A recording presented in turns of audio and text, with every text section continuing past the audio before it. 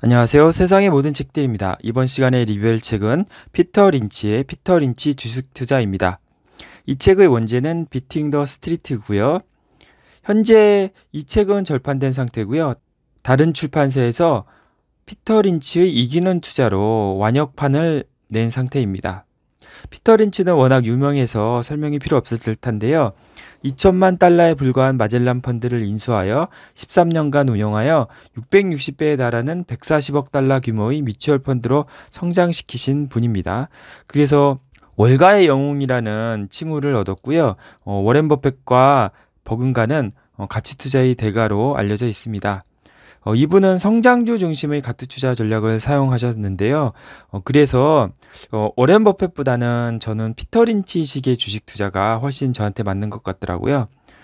그 제가 그 주식 투자를 처음 시작할 때 전설로 떠나는 월가의 영웅이라는 그 피터 린치가 지은 어, 책을 읽었는데요. 거기 보면은 어, 한창 전성기 때 자신의 모든 시간을 회사에 쏟는 모습을 보면서 가족들과 시간을 보내기 위해 46세 나이에 은퇴했다는 이야기가 나옵니다.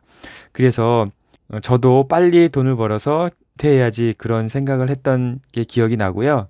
그 다음부터 롤 모델을 피터 린치로 삼아가지고 투자를 했던 기억이 납니다. 자, 그러면 바로 목차를 살펴보도록 하겠습니다. 이 책은 21장으로 구성이 되어 있는데요. 어, 서문, 그 다음에 어, 1장에서 4장까지는 일반적인 주식 투자 얘기를 하고 계시고요. 5장에서 7장은 실제로 자신이 마젤란 펀드를 어떻게 운용했는가, 그러니까 종목에 대한 상세한 설명까지 다 나오고요. 그 다음에는 그 베론스라는 주간지에서 주간한 회의에 참석해서 여러 투자자들과 그 토론을 벌였다고 하더라고요. 그때 독자들에게 추천했던 21개의 주식을 어떻게 선정했는지에 대해서 제 8장부터 제 19장까지 자세히 설명을 하고 계십니다. 여기서 보면은 피터 린치가 자신이 어떻게 주식을 선정했는지부터 시작을 해가지고 그걸 어떻게 운용했는지에 자세히 나오기 때문에 실전 투자에 정말 응용할 수 있는 내용이 많은 것으로 보여집니다. 그리고 20장부터 21장은 거의 마무리 내용으로 한 번 주식을 선정했으면은 그거를 6개월 주기로 점검을 해야 된다는 얘기가 나오고요. 그다음에 주식 투자의 격언 같은 그러니까 주식 투자의 원칙 같은 거를 제 21장에서 설명을 해 주고 계십니다. 제가 한번 분량을 봤는데 이번 시간에는 한 8장까지 주식 고르기까지 볼 수 있을 것 같습니다. 자, 그러면 바로 서문부터 살펴보도록 하겠습니다. 서문 피델리티를 떠나면서 나는 백만장자들이 더 많은 돈을 벌 수 있는 기회가 있는데도 이를 뿌리치고 은퇴한 다음 그것을 자랑스러워하는 것을 이해하지 못하였다. 미래의 좀 더 많은 보수를 내팽개치는 것이 아주 극소수의 사람만이 할 수 있는 사치라고 생각하였다. 그러나 내 인생에서 내가 번 만큼 충분히 보상을 받을 정도로 운이 좋은 사람이라면 나머지 인생을 부를 증가시키는데 쏟음으로써 부의 노예가 될 것인가? 아니면 여태껏 축적한 것을 자신을 위해 쓸 것인가를 결정할 시기가 있는 법이다. 톨스토이 의화 중에 욕심 많은 농부에 관한 이야기가 있다. 한 장난꾸러기 요정이 농부에게 하루 동안 발걸음이 닿는 모든 땅을 주겠노라고 하였다. 농부는 젖 먹던 힘까지 다 내어 몇 시간을 달렸다. 그래서 자신이 일생 동안 먹고 남을 아니 자자손손 가족들이 부유하게 지낼 수 있는 정도의 넓은 땅을 차지할 수 있게 되었다. 너무 빠르게 너무 많이 달린 농부는 땀으로 뒤범벅이 되어 헐떡거리며 가쁜 숨을 몰아쉬었다. 그는 이제 그만 달릴까도 생각했지만 모처럼 잡은 기회를 놓칠 수 없다는 생각에 달리고 또 달렸다. 그리고 끝내 지쳐서 쓰러져 죽고 말았다. 나는 그런 종말을 맞고 싶지 않았다. 여기에 피터 린치가 왜 46세의 나이에 은퇴했는지 자세히 설명하고 계십니다. 제1장 채권으로부터 탈출하라. 월가의 영웅에서 내가 설교한 부분을 다시 상기해보자. 만일 현재보다 앞으로 돈을 더 벌고 싶은 사람은 재산의 상당 부분을 주식에 투자해야 한다.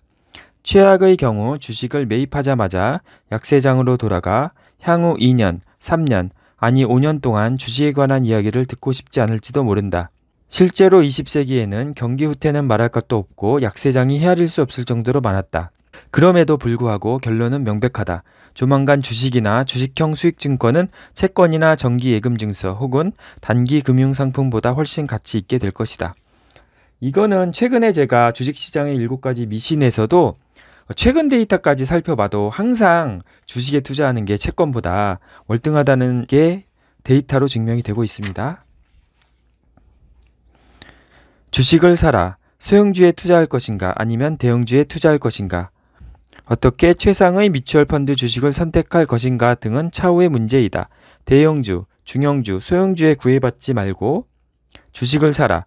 나는 물론 여러분이 현명한 방법으로 주식과 펀드를 선택하고 주가 하락기에도 주식을 팔지 않는다는 가정하에 이야기하고 있다. 내가 이 문제를 제기하는 이유는 아마추어 투자가들이 주식에서 얻게 되는 즐거움을 포기하지 않도록 더욱 격려하기 위해서이다. 나는 전에 기업에 대해 약간의 연구를 한 아마추어 투자자들도 그들이 알고 있는 지식만으로 뮤추얼 펀드를 운영하는 전문가의 95%를 능가할 수 있다고 말한 바 있다. 제2장 아그네스의 기적에서 보면 보스턴 지역 교구 부속 아그네스 학교의 7학년, 중학교 1학년생들은 월가의 전문가들도 부러워할 정도인 2년 연속 최고 수익률 기록을 세웠다. 또한 다수의 성인 아마추어 투자가들도 수년간 연속 프로 투자가보다 앞섰다. 이 양쪽의 아마추어 투자가들에게 공통점을 발견할 수 있다. 그들의 주식 투자 방법은 높은 연봉을 받는 펀드 매니저들이 사용하는 수식적인 방법이 아닌 단순한 방법이며 수익률 또한 높다는 것이다. 주식에 투자를 하든 뮤추얼 펀드에 투자를 하든 궁극적인 성패의 열쇠는 세상 사람들이 우려를 무시할 수 있는 능력, 여하에 달려 있다. 주식 투자가의 운명을 결정하는 것은 머리가 아니라 가슴이다. 변덕 많은 투자가는 그가 얼마나 총명하든 간에 항상 시장에 흘러 들어오는 정보에 민감할 수밖에 없다.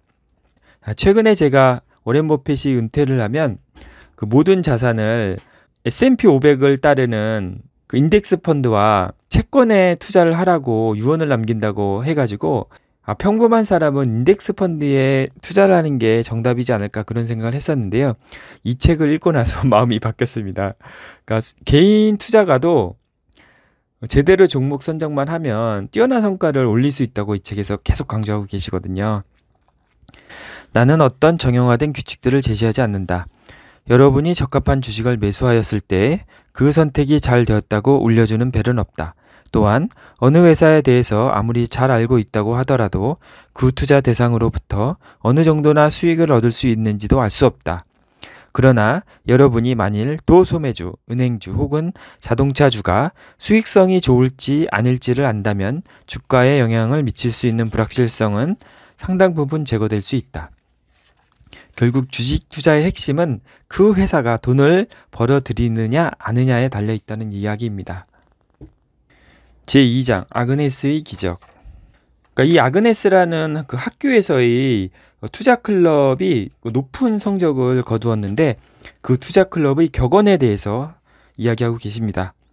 이 격언들은 우리가 미래의 실수를 예방하기 위하여 반드시 기억하고 반복해야 하는 것들이다. 1. 우수한 회사는 매년 배당을 증가시킨다. 이런 회사에 대한 투자는 단기적으로는 손실을 볼 수 있으나 시간이 지나면 큰 돈을 벌 수 있다. 2. 주식시장은 정말로 도박이 아니다.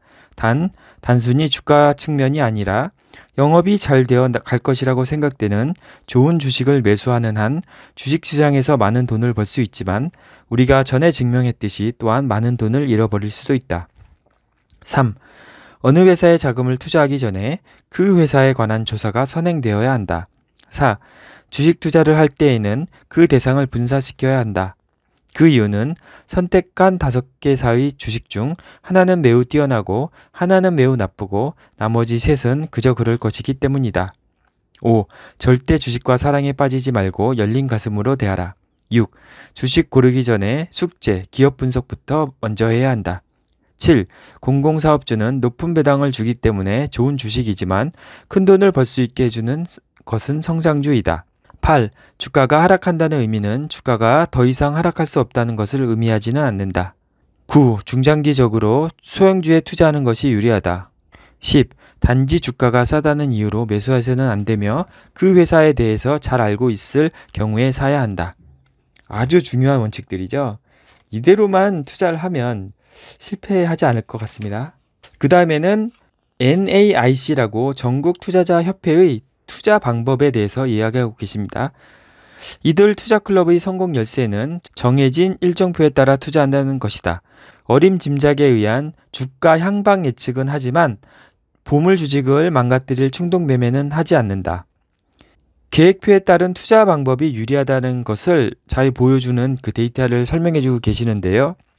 만일 여러분이 1940년 1월 31일 S&P 500 지수에 1000달러를 투자하였다면 52년 후에는 33만 3,793.30달러가 되었을 것이다.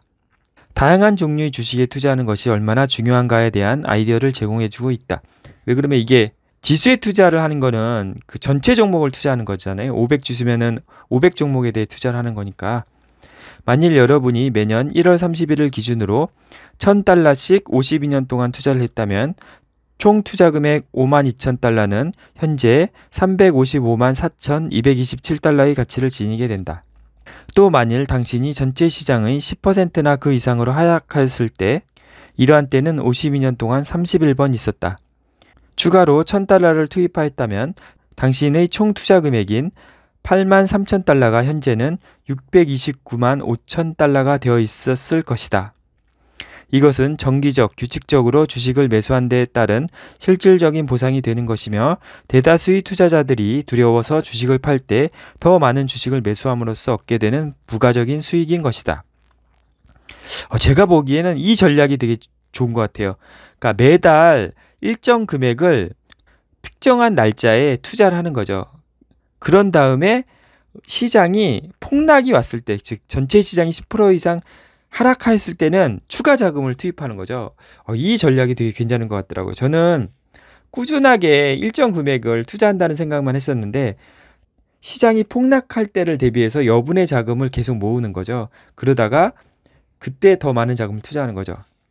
어, 이 부분이 되게 저한테 인상 깊었고요. 대부분의 경우 전국 투자자 협회 그룹들은 오랜 기간 실적이 좋고 기업 수익이 향상되는 성장 주식을 매수한다. 바로 이런 매매 전략이 장타를 칠 수 있는 근간이 되며 10년 동안 10배, 20배, 30배의 투자 수익률을 가져다 주는 종목도 드물지 않게 찾아내게 된다. NAIC는 40년간의 경험을 통하여 내가 마젤란에서 배웠던 것과 똑같은 교훈을 얻었다. 즉, 만일 여러분이 각각 성장률이 다른 다섯 개의 회사를 선택한다면 그중 세 개의 회사는 예상했던 결과를 얻을 수 있고 네 번째 회사는 예상치 못한 곤란을 겪게 되어 당신을 실망시킬 것이며 다섯 번째 회사는 기대 이상의 놀랄 만한 수익률을 가져다 줄 것이라는 것이다. 각각의 회사가 당초 예상했던 것 이상으로 잘 되거나 잘못될 것을 예측하기는 불가능한 일이기 때문에 NAIC는 다섯 개 이상의 주식을 포트폴리오에 편입시켜야 한다고 충고하고 있다. NIIC는 이것을 다섯 종목 원칙이라고 부른다. 즉, 일반 투자자는 다섯 개 종목이면 충분하다는 얘기입니다. NAIC 투자 매뉴얼. 첫째, 정보를 계속 얻을 수 없는 주식은 보유하지 말 것. 2. 규칙적으로 투자할 것. 3. 먼저 주당 순이익과 매출액이 올라가고 있는가를 확인하고 적절한 가격으로 주식을 매수할 것. 4. 최근 단기적으로 영업 실적이 악화되었을지라도 재무 구조와 부채 규모를 고려할 것. 5. 회사의 성장률이 예상했던 바에 미치는가, 그렇지 않은가, 또 가격이 적정한가 아닌가의 기준으로 주식을 매수할 것. 6. 과거 매출 증가율의 요인들을 분석하여 향후 매출액 증가율을 추정할 것. 아, 어떻게 보면은 이 내용이 주식 투자의 핵심인 것 같아요. 여기서 제가 유용하다고 느낀 게 정보를 계속 얻을 수 없는 주식은 보유하지 말 것이라는 원칙이 되게 눈에 띄었거든요. 그러니까 제가 해외 주식을 투자하다 보면은 좋은 중소형주라고 투자하는 것들을 투자를 해본 적이 있는데 제가 그 주가의 가격이 심하게 변동했을 때 왜 그런지 구글로 검색을 해도 잘 나오지가 않더라고요. 그러면은 너무 답답해가지고 자꾸 그 팔게 되더라고요. 그래서 자신이 정보를 계속 얻을 수 있는 주식에 투자를 하는 게 되게 중요한 것 같아요. 그래서 그런 거를 느꼈는데 여기서도 그 내용을 설명하고 계셨습니다. 제3장 주말 증후군. 주식 투자에서 성공의 열쇠는 빠져나올 것을 두려워하지 않는 데 있다. 이 점은 아무리 강조해도 지나치지 않는다. 매년 유망 종목 발굴과 유망 뮤추얼 펀드 선정 방법에 관한 수많은 책들이 쏟아져 나오지만 이러한 유용한 정보도 의지가 결여되어 있으면 무용지물이다. 다이어트와 주식 투자에서 성공을 결정하는 것은 머리가 아니라 끈기이다. 이 단락이 되게 중요한 것 같습니다. 끈기가 중요합니다. 투자자에게 별도의 분석을 요구하지 않는 뮤철 펀드의 경우조차도 알고 있는 것 때문에 손해를 보는 경우가 왕왕 발생한다. 경제 상황이나 증시 여건을 무시하고 일정한 계획에 따라 투자하는 사람들이 투자에 대한 연구와 투자 시기 선택으로 고심하는 투자자들보다 높은 수익을 얻는다. 그러니까 마젤란 펀드가 엄청난 수익을 올렸지만 여기에 투자한 분들이 수익을 올린 건 아니라고 하더라고요. 반 이상이 손실을 봤다고 하더라고요. 그게 왜 그러냐면은 계속 펀드도 샀다 팔았다 할 수 있으니까 자꾸 매매를 했다는 거죠. 과거 6년간 베론즈 모임에서 경제에 대한 부정적인 의견들이 지배적이었을 때는 축복받은 무지한 일반 투자가들이 3배에서 4배의 이익을 얻는 시기였다. 그러나 대부분의 사람들은 주가 상승기 중 최고 급등기가 오기 직전에 주식으로부터 빠져나오려 하고 있었음을 알 수 있다. 누군가 일본이 파산 지경에 이르렀다거나 뉴욕 증권 거래소에 운석이 떨어질 거라고 당신을 설득하려 한다면 이때가 좋은 투자 기회임을 명심해야 한다. 주식 투자가라면 수없이 이런 결심을 하였으리라. 다음번에 어떤 악재가 터져 주가가 큰 폭으로 하락하면 그때를 놓치지 않고 주식을 사야지. 아, 저도 항상 이런 마음인데요. 실제 주가가 하락하면 또 그렇게 잘 안 되죠. 그러나 매번 터지는 악재는 그 전 것보다 더 심한 것으로 받아들여지므로 악재를 무시하기는 점점 더 어려워진다. 이를 해결할 가장 좋은 방법은 이 장에서 언급한 바와 같이 일정한 계획표를 세워놓고 분할 매수하는 일이다. 이 방법은 확신이 설 때 주식을 전량 매수하고 확신이 안 설 때 전량 매도하는 것에 비해 훨씬 나은 수익률을 올려준다. 기분파 주식 투자가들은 주가가 600포인트 상승한 시점에 주가가 싸다고 생각하나 그것은 과대 포장되어 있다는 것이고 주가가 600포인트 하락한 후에는 그들은 더욱 나빠질 것으로 판단하게 되므로 싸게 매입할 수 있는 주식이 널려 있게 된다는 것이다. 따라서 한꺼번에 가진 돈 모두를 투자해 주식을 사는 습관만 버린다면 소신껏 투자할 수 있는 여유가 생긴다. 그러니까 매수를 할 때 분할해서 매수를 하라는 거죠. 신념을 유지하는 것과 주식 매입은 일반적으로 같이 언급되지는 않지만 주식 매입의 성공은 신념 유지에 달려 있다. 세계에서 가장 뛰어난 재무 분석 전문가도 신념이 없다면 부정적인 신문 기사에 영향을 받을 것이다. 자기 재산을 실적이 우수한 투자 신탁에 넣을 수 있지만 신념이 없다면 주가가 바닥 시점일 때 더욱 하락할 것에 대한 두려움으로 당해 수익 증권을 매도할 수 있다는 것이다. 내가 말하고 있는 신념이란 고차원적인 게 아니다. 미국이 망하지 않고 사람들이 아침에 일어나 바지를 입고 또 바지를 만드는 회사는 주주들에게 이익을 돌려줄 것이라는 따위의 신념인 것이다. 낡은 기업은 활기를 잃고 사라지는 반면 월마트, 페더럴 익스프레스 및 애플 컴퓨터 같이 야심찬 기업은 정상에 설 것이라는 신념이다. 현재의 큰 그림, 거시적 상황에 대한 의구심이나 절망에 직면할 때마다 나는 더 큰 그림에 집중하려고 노력한다. 주식 투자에 대한 신념을 유지하려 한다면 더 큰 그림은 알만한 가치가 있다. 더 큰 그림에 따르면 지난 70년 동안 주식은 연평균 11% 상승한 반면 재무성 채권, CD 등은 주식 투자에 비해 절반 이하의 수익률을 기록했다.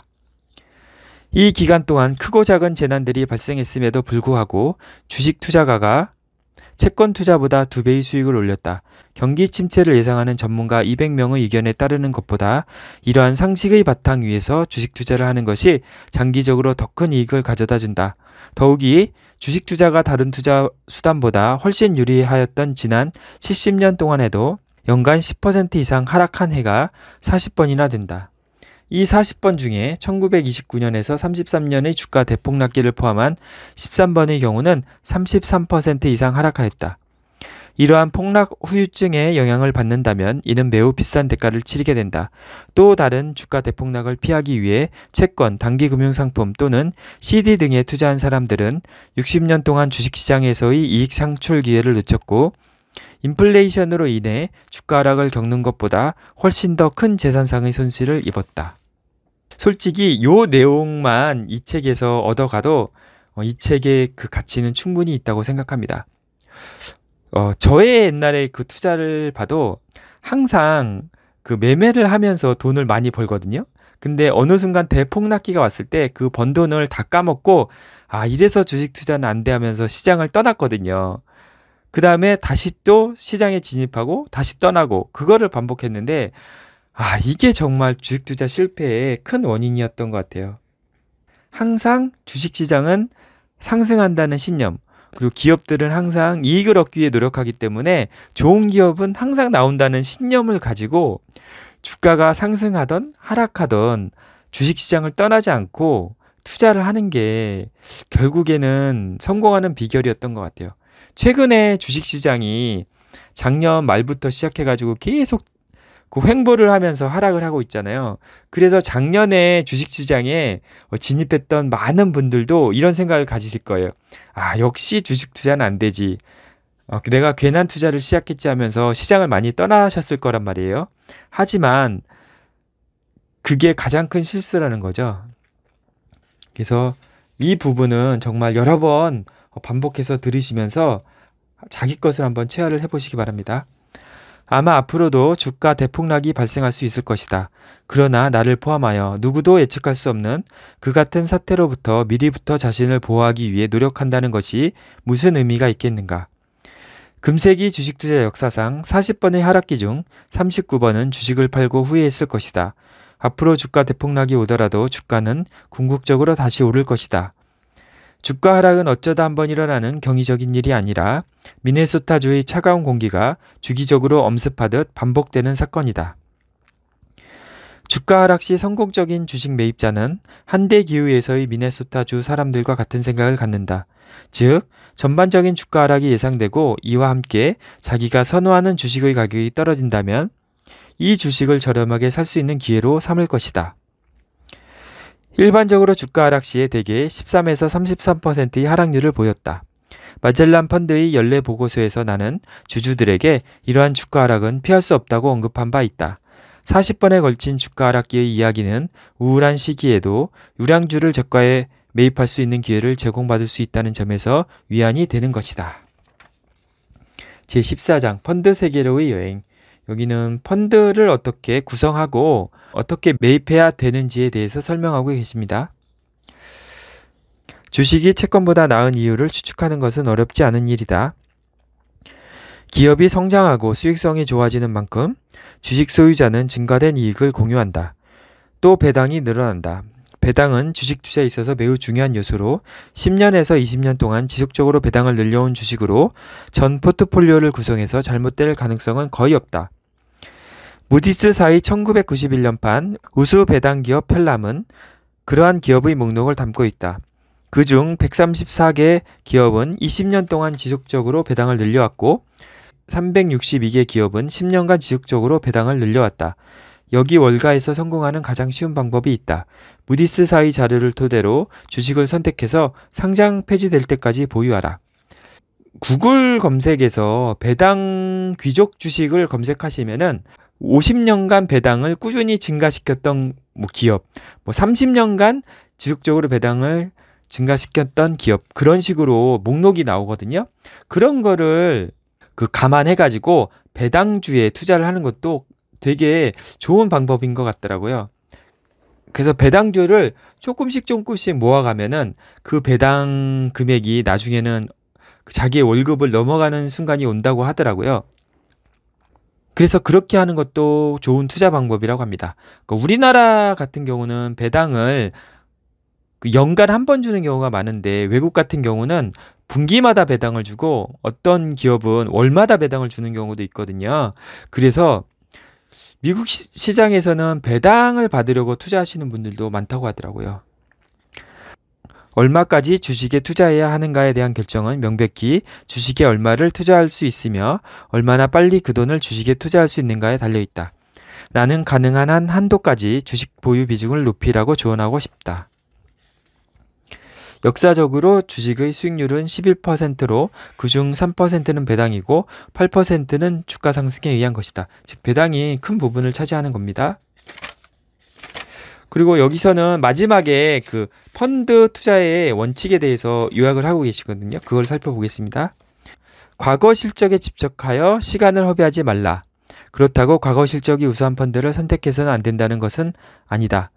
시세의 흐름을 타려고 이 펀드 저 펀드 옮겨가지 말고 일관성과 끈기를 갖춘 펀드 매니저를 찾는 편이 낫다는 것이다.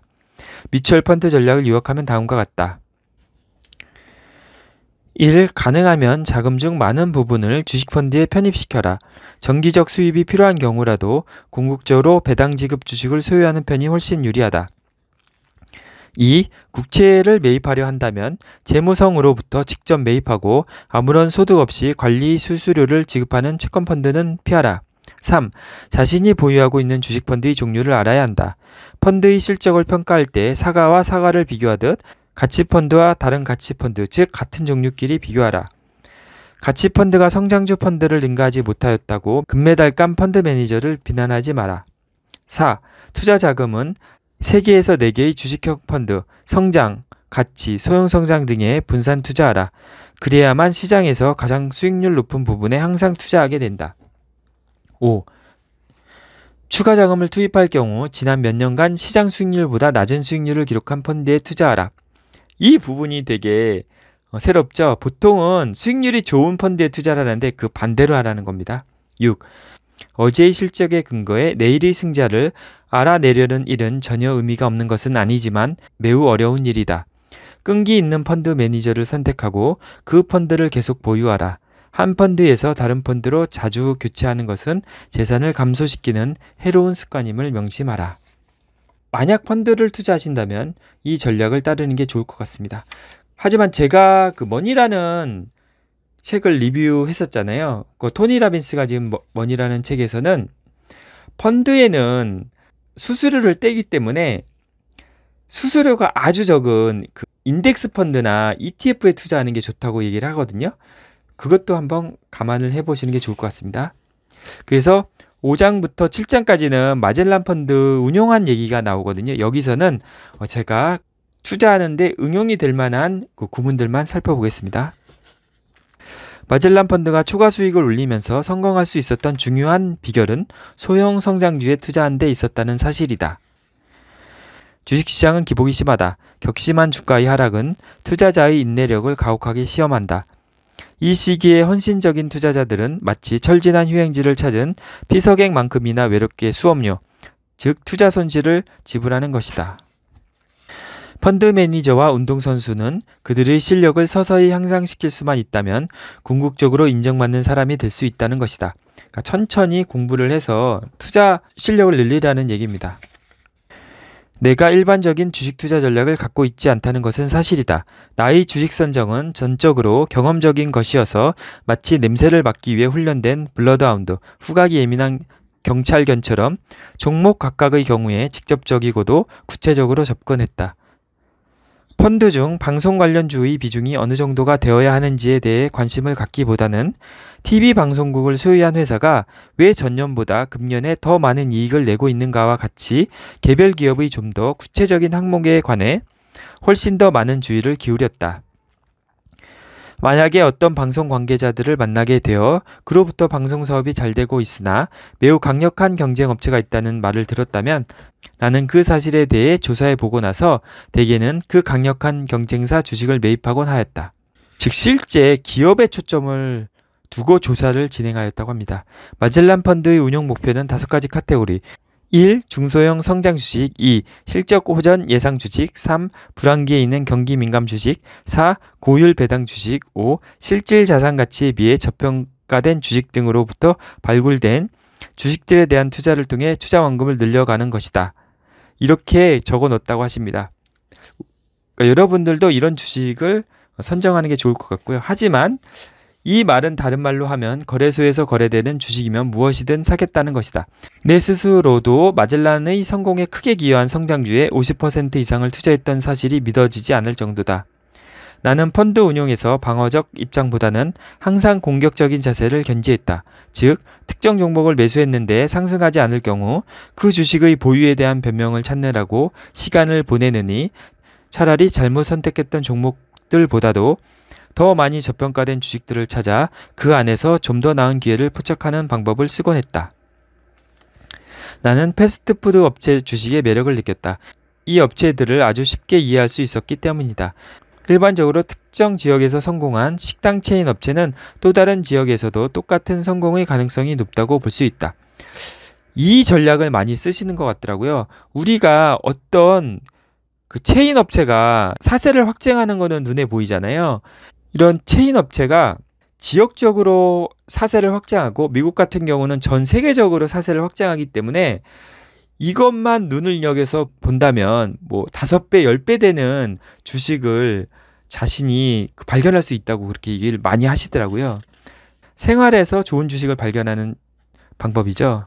나는 마젤란 운영 기간 중에 몇 달간 보유했다가 너무 일찍 팔아버렸던 많은 주식들을 좀 더 오랫동안 갖고 있어야 했다는 사실을 뼈저리게 느낀다. 이 말은 특정 종목에 대해 맹목적으로 집착하라는 것이 아니라 점점 더 매력적으로 변화되는 회사라면 그 종목에 지속적으로 충실하라는 것이다. 이렇게 대단한 종목들을 아주 적은 차익만을 남기고 놓쳐버림으로써 나 자신이 꽃을 뽑아내고 잡초에 물지기의 전형적인 표본이 되고 말았다.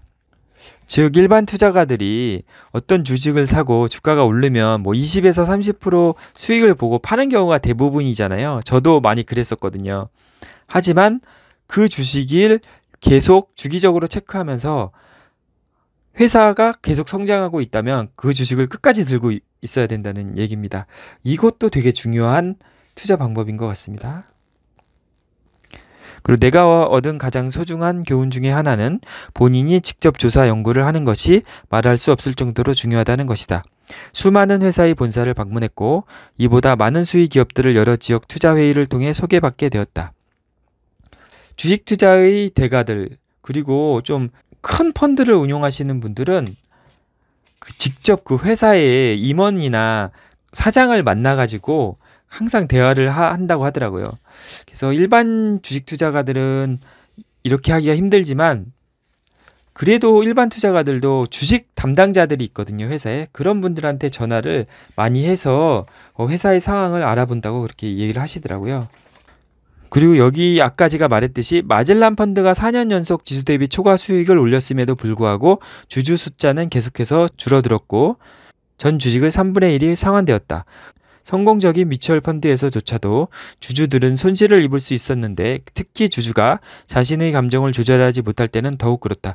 즉 뮤추얼 펀드가 시장이 하락할 때 같이 하락하거든요. 그때 뮤추얼 펀드를 팔고 나가는 거죠.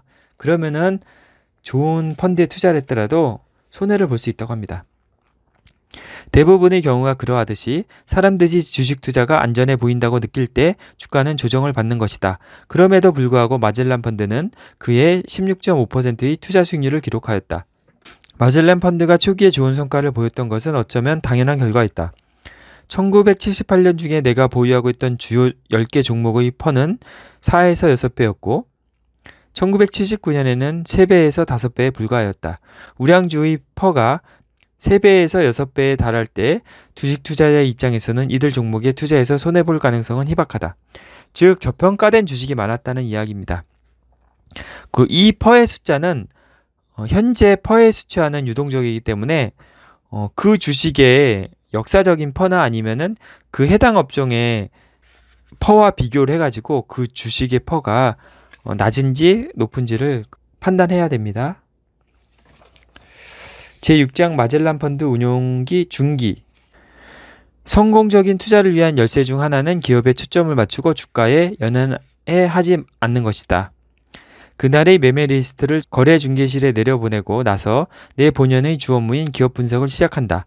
내 방식은 취재 기자들의 방식과 큰 차이가 없다. 그것은 실마리를 찾아내기 위해 간행물들을 뒤적이고 조사부 직원, 각 기업의 주식 담당자들과 이야기하고 가장 중요한 정보 원천인 회사 자체를 분석하는 일이다. 전화로 만나건 직접 만나건 수첩에 회사명, 현재 주가, 그리고 내가 들은 정보 등 한 줄에서 두 줄에 걸친 요약을 적어 넣는다. 모든 주식 투자자들이 이러한 정보 수첩을 활용한다면 큰 도움을 얻을 수 있을 것이다. 이 기록이 없다면 그 주식을 맨 처음 왜 샀는지를 잊어버리기 십상이다. 이것도 되게 활용할 수 있는 것 같아요. 그러니까 자신이 주식을 빈번히 매매하다 보면 자신이 언제 어떤 주식을 왜 샀는지 왜 팔았는지를 다 까먹게 되거든요. 하지만 이거를 수첩에 적어 놓는 거죠. 그리고 이거를 나중에 복기를 하는 거죠. 그러면은 많은 도움이 되거든요. 그 다음에 어, 자신이 펀드 운영 초기에는 정보 교환을 정례화하였다고 합니다.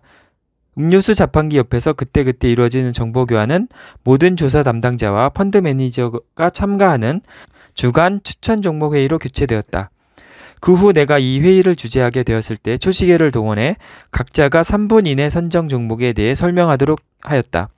나중에는 시간을 더욱 단축하여 1분 30초 내에 마치도록 유도하였다.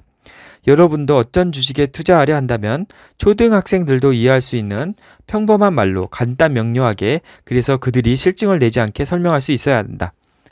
종종 가장 가치 있는 주장은 주식 고르는 기술이 말재주보다 훨씬 나은 사람에게서 나았고 나는 시간 제약 속의 회의보다는 회의 형식이 아닌 그때그때의 투자 메모에서 더 좋은 아이디어가 나온다는 것을 알았다. 따라서 주간 회의는 매일매일의 조사 메모로 교체되었다. 여기도 되게 응용할 부분이 있는데요. 보통 그 일반 그 개인 투자가들은 누가 주식을 좋다고 하면은 그 주식을 덥석 사는 경우가 되게 많거든요. 저도 그런 경우가 많이 있었고요.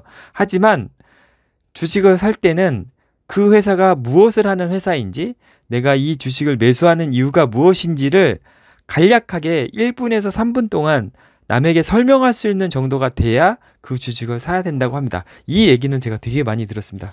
성공하신 분들이 많은 이 얘기를 하시더라고요. 분석가들은 주당 25센트 하는 주식 10년 후에 25달러까지 상승한 주식을 어떻게 맨 처음 발굴하였는가를 뻐기기를 좋아한다. 그러나 중요한 것은 그 주가가 5달러, 10달러, 그리고 15달러가 되었을 때 2차, 3차 분석 보고서에서 그 논리를 강화하였느냐, 그러지 않았느냐 하는 것이다. 최초의 매수 권유 논리를 금방 잊어버린다. 더욱이 그 종목에 대해 한 번 추천한 이후 추가 추천을 하지 않았다면 투자자들은 상승 곡선을 타면서 투자 수익을 올릴 기회를 잊어버리는 것이다. 아, 이 부분도 되게 중요하죠. 한 주식을 계속 상승하는 것을 보면서 팔지 않고 소유하고 있는 게 정말 큰 부를 이루는 중요한 그 원칙입니다. 음식 체인 및 도소매 관련 주의 중장기 잠재력에 고무되어 이 산업에 많은 투자를 하였다. 아까 얘기한 것과 일맥상통하는 얘기입니다. 전국으로 판매망을 확산할 경우 향후 10년에서 15년 동안 연 20%의 성장이 가능해 보였다. 수익이 연 20% 증가할 경우 3년 반이 지나면 수익 규모는 2배가 되고 7년 후에는 4배가 된다.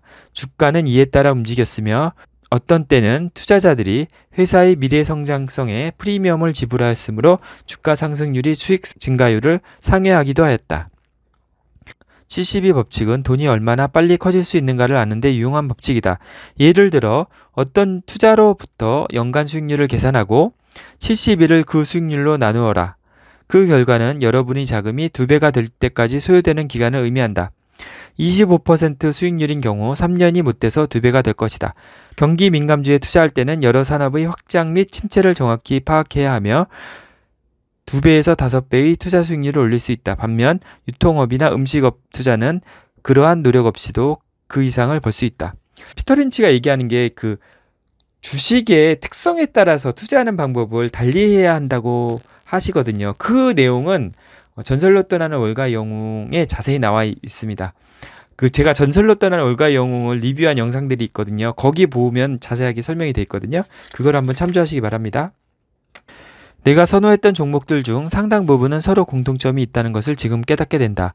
이런 회사들은 재무 구조가 건전하고 영업 전망도 상당히 밝은데 다른 펀드 매니저들은 감히 사려 하지 않는 종목들이었다. 기업 접촉 메모장을 뒤적이면서 주가가 하락했던 상황들과 회사의 기본적 상황이 개선 또는 악화되었는지를 찾았다. 나는 항상 어떤 기업과 접촉할 때마다 날짜 옆에 주가를 적어 놓는다. 그러니까 메모장을 기입하면서 나중에 이거를 보면서 복귀를 한다고 하십니다. 경기 민감주들은 불황기 말일기에 그러하듯이 시장 주도주가 되어 상승을 선도하였다. 나는 은행주나 보험 주식을 팔았고 펀드의 11%를 자동차 주식에 10%를 도소매 주식에 투자하였다. 이러한 결정은 신문머리 기사나 연방준비은행 총재의 말에 영향을 받는 게 아니다.